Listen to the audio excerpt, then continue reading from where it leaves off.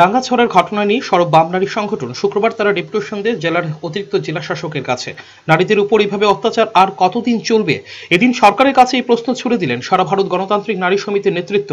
রাজ্যে একের পর এক নারী ঘটিত অপরাধ বেড়ে চলার ঘটনায় উদ্বেগ প্রকাশ করে এই প্রশ্ন ছুড়ে তারা। সর্বশেষ সিদাই থানাধীন রাঙ্গাছড়ায় বাইশ বছর বয়সী যুবতীর দগ্ধ মৃতদেহ উদ্ধার হয় এদিন। ধারণা ধর্ষণের পর আগুনে পুড়িয়ে মারা হয়েছে তাকে। ঘটনায় সর্বত্র নিন্দার ঝড় বইছে। বিকেলে বামনারী সংগঠনের এক প্রতিনিধি দল দেখা করেন পশ্চিম জেলার অতিরিক্ত পুলিশ সুপারের সঙ্গে। প্রতিনিধি দলে ছিলেন রূপা গাঙ্গুলি, জ্যোৎস্না সিনহা সহ অন্যান্যরা। আপনারা দেখছেন, গতকালকে সিদাইমোহনপুরে রাঙ্গামুড়া এলাকাতে বাইশ বছরের একটা তরুণীরে দগ্ধ অবস্থায় মাঠের মধ্যে পাওয়া গেছে। আমরা আইসি আজকে এসপি সাহেব, উনি অন্য একটা কি ভিডিও কনফারেন্সে উনি ব্যস্ত, তাই আমরা এডিশনাল এসপির সঙ্গে আমরা দেখা করলাম। আমাদের জিজ্ঞাসা, কতদিন এইভাবে চলবো?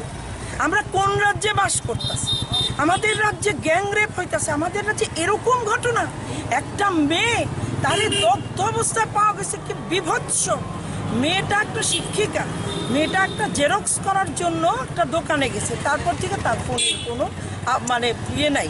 এবং তারে তার পাশে একটা মেয়ে ছিল, সে কইতাছে কিছু গুন্ডা নাকি, তারে ঘেরাও কইরা তার সঙ্গে অসভ্যতা করতেছে।